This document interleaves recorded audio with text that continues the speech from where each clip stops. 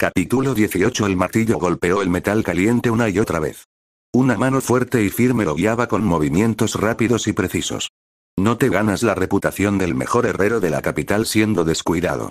Aunque exteriormente el herrero era la personificación de la calma, su mente estaba confundida. Veinte espadas de grado especial para el final de la semana o el bastardo revocará mi licencia. Si hasta ahora ya tenía suficientes razones para odiar a su amigo convertido en adversario, ahora llegó a su punto de ebullición. No solo fue el actual ministro, Vesta, una vez su subordinado y amigo en el ejército Duargón, sino que también fue quien hizo que su carrera terminara y lo deshonraran. El recuerdo del golem metálico enloquecido, o soldado mágico como se llamaba el proyecto, todavía estaba fresco en su mente. Fue Vesta quien, ansiosa por impulsar el proyecto, ignoró muchas precauciones de seguridad. Fue Vesta quien no solo no asumió la responsabilidad de sus errores, sino que también sobornó a los investigadores para falsificar pruebas y echarle la culpa a Keijin. La espada estaba tomando su forma lentamente. Golpe tras golpe dio en el blanco a la perfección. Sus músculos y espalda pedían a gritos descanso. Estaba corriendo con solo dos horas de sueño después de 19 horas de trabajo ayer. No era suficiente ni siquiera para el más robusto de los enanos. Pero la orden era una orden. 100 puntas de lanza de acero y 20 espadas para el final de la semana. Las puntas de lanza fueron bastante fáciles. Le quedaba un amplio suministro de acero, pero no había suficiente acero mágico para hacer los núcleos de las espadas. Sus tres amigos fueron a las minas hace un día para buscar el mineral, a pesar de los rumores de que vagaban monstruos. Admirable, ciertamente, pero estúpido. A pesar de la terrible situación, debería haberles impedido ir. ¿Era la necesidad del acero mágico o simplemente su mente cansada que no pensaba en los riesgos en este momento? No podía decirlo. Ya deberían haber regresado. Si algo les pasaría a los tres hermanos enanos, estaría en su conciencia. No solo era su amigo, sino también una especie de guardián. Cuando se trataba de artes y manualidades, los tres eran innegablemente genios en sus campos, pero cuando se trataba de asuntos prácticos, como administrar un negocio, todos eran incompetentes más allá de lo creíble. Por supuesto, los productos de alta calidad y la falta de sentido comercial invitaban a personas sin escrúpulos a aprovecharlos. Un día, habían perdido su tienda y todas sus posesiones y no tenían a dónde ir, así que los acogió. El acero se estaba enfriando de nuevo, así que Kaijin detuvo la conformación del metal y lo volvió a poner en la fragua. ¿Kaijin? La voz familiar de su hermano lo alcanzó en la parte trasera de su tienda. Aquí atrás. ¿Necesitas algo? Kaijin gritó de vuelta. Un enano de complexión robusta vestido con una armadura de capitán de la guardia entró corriendo en la sala de forja, jadeando. Hubo un accidente, dijo, tratando de recuperar el aliento, Armosaurus en las minas, Garm, Mirdidor, resultaron gravemente heridos. Kajin sacó la espada caliente, dejándola caer sobre el yunque. ¿Qué tan mal estaban heridos? ¿Llegaron al sanador a tiempo? Vivirán, creo. Algunos de mis hombres los llevaron a la enfermería, mientras que el resto de nosotros matamos a la bestia. Kaijin cerró la puerta protectora de la forja para no causar un incendio por accidente y puso la espada caliente en agua, sin importarle el resultado en este momento. Tenía que ir a verlos. Fue su culpa que entraran en las minas. El aire frío y la adrenalina le dieron a su cuerpo cansado más fuerza para correr de lo que creía tener. Con Kaido corriendo detrás de él, Kaijin llegó a la enfermería en un tiempo récord. Los tres hermanos no fueron las únicas víctimas de la bestia y el personal médico estaba trabajando usando magia curativa. Kaijin no vio que se usaran pociones, pero con la creciente paranoia sobre una posible invasión del Imperio del Este, todas las pociones curativas eran solo para situaciones de emergencia y estaban prohibidas para uso comercial. Localizó al trío pero no estaba preparado para lo que vio en ese momento. Kaijin miró en silencio a los tres. A Garm, el mayor, le faltaba el brazo derecho. Thor, el hermano mediano, lo pasó peor. Le amputaron ambas piernas por debajo de la rodilla. A Mir, el más joven, le faltaba la mitad de la mandíbula y le faltaba la mano izquierda. Kaijin, lo siento, no conseguimos el mineral que necesitabas. Kaido dijo disculpándose. Olvídate del mineral. Dijo Kaijin y se volvió hacia el sanador principal. ¿Hay algo que puedas hacer para curarlos? Pagaré todo lo que pidas. Lo siento, Kaijin. El sacerdote principal respondió solemnemente. La culpa y la desesperación aumentaron y aumentaron.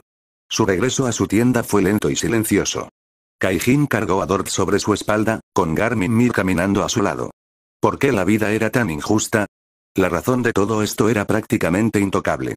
Vesta, además de ser un ministro, también era un noble de alto rango e incluso insultarlo podría llevar a un plebeyo como Kaijin a prisión. Una vez en casa, dejó a Garm en la silla de la cocina y sacó la carne seca y el pan de la despensa.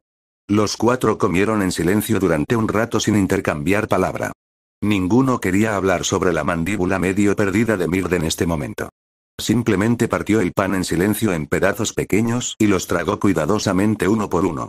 Kaijin, ¿qué hacemos ahora? No podemos quedarnos sentados. Preguntó Dort. Estaba dolorosamente claro lo que realmente estaba preguntando. Lamento mucho haberlos enviado a esa mina. Cuidaré de ustedes tres mientras pueda. Es una promesa. Fuimos solos y lo sabes. Dijo Garm. Aparte de nosotros, ¿qué vas a hacer? No conseguimos el mineral mágico que necesitabas. Haré lo que pueda y espero poder mantener la licencia. Ese idiota engreído de Vesta no te dejará. Lo sé. Pero, pero tengo que hacer lo que pueda.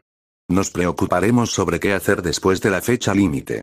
Después de la comida rápida, Kaijin volvió al trabajo.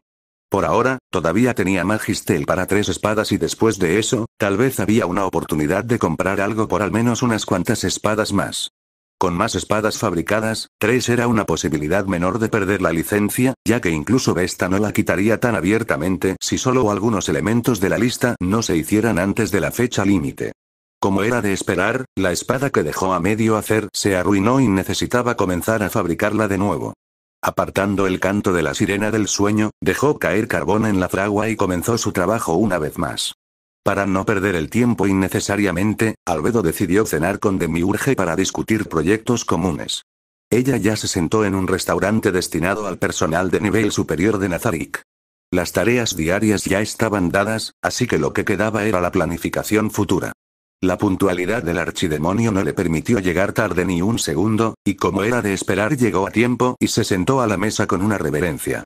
Las sirvientas llegaron con la comida unos segundos después, dando la impresión de un acto bien planeado. Supongo que comenzamos con la cuestión territorial. Demiurge preguntó mientras vertía vino en su copa y acomodaba los utensilios a su gusto.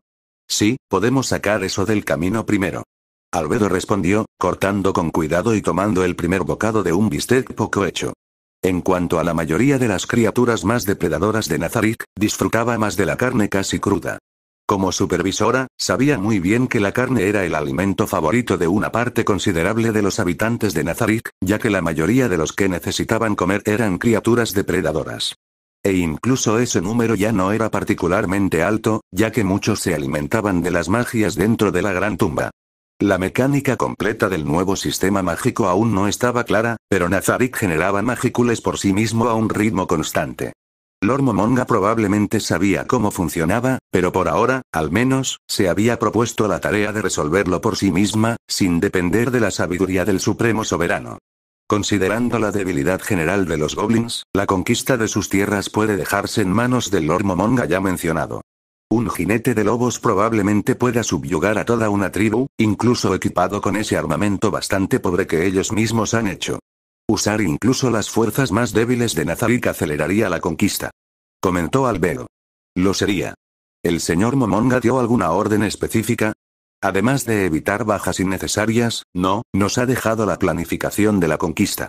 Su mejor suposición fue que Lord Momonga probablemente quería usar goblins para experimentar con los nombres, por lo que limpiar las tierras de las criaturas por la fuerza no era una opción. Pero había muchos métodos efectivos además de eso. Sabiendo que los lobos y los duendes combinados forman una fuerza mucho más efectiva, me expandiría en ambos territorios lentamente. Tomando tribu por tribu y manada por manada. Dijo Demiurgo. MMM, entonces ordenamos a los jinetes de duendes de Rigur que obliguen a las tribus de duendes más cercanas a someterse, y aquellos que se niegan, los usamos como ejemplo para los demás. Incluso esas criaturas aburridas podrían entender que no tienen ninguna posibilidad. En cuanto a los lobos, los alfas con nombre podrían solo toma todo, paquete por paquete. Debería funcionar. Veremos y ajustaremos los planes si es necesario. ¿Dio Lord Momonga permiso para nombrarnos nosotros mismos? Sí, pero también quiere que otros guardianes del piso lo prueben. Naturalmente. Tengo curiosidad acerca de las diferencias entre cada guardián que los nombra. Dijo Demiurgo. Sabiendo que incluso las criaturas convocadas podrían ser nombradas para empoderarlas, por supuesto quería realizar pruebas para ver los resultados, pero el plan estaba en pañales y aún no se le había presentado al Ormomonga. ¿Ya conociste a Beldora? Albedo preguntó de repente. Su expresión facial traicionó abiertamente su disgusto por el dragón y su presencia en la gran tumba. Todavía no. Por lo que he oído, pasa la mayor parte de su tiempo en compañía del Lord Peroroncino, Sí, lo hace, e incluso entonces, la presencia de ese lagarto es perturbadora. Entonces Lord Momonga no eliminaría su manifestación de Nazarik.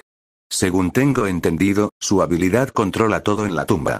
Lord Momonga estaba muy sorprendido de ver la manifestación de Beldora, así que asumí que Beldora usó la conexión para entrar sin permiso. Eso suena poco probable.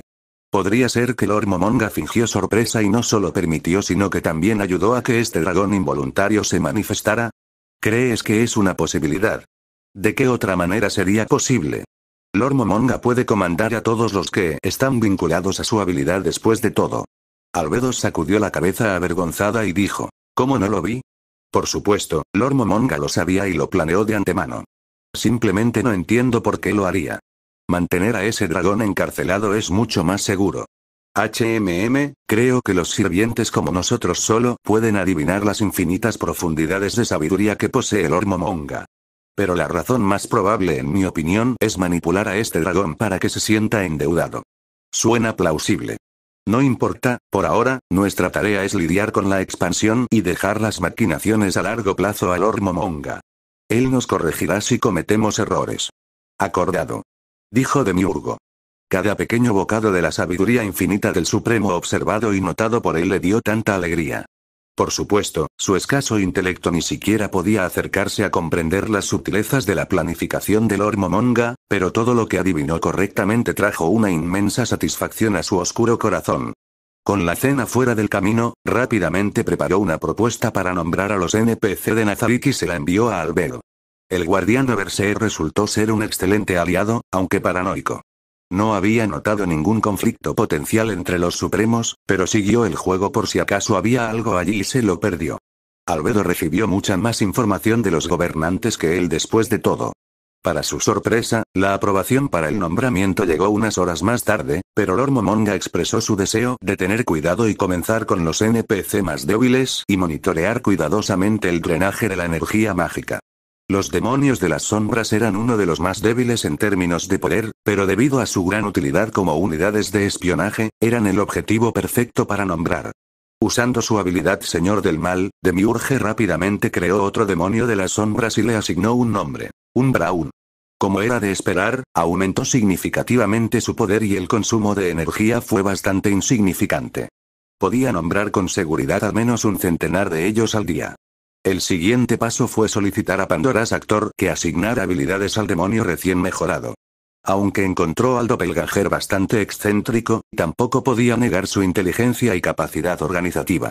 Ni cinco minutos después, al demonio se le había dado la habilidad extra, lectura de la mente y la habilidad extra, poseedor. Ahora podía leer la mente de criaturas más débiles y, en algunos casos, apoderarse de ellas de forma permanente. El paso final de la prueba fue darle un título al demonio de las sombras. Con el título de Shadow Lord, su sirviente recién creado adquirió aún más poder y potencialmente podría controlar mentalmente a las criaturas con un conteo de magia mucho más alto que él. Demiurge notó rápidamente que dar el título requería más energía que nombrar y que el aumento de poder general también fue mayor. En general, el nombramiento fue muy beneficioso, pero se necesitaba precaución para no agotar las reservas mágicas.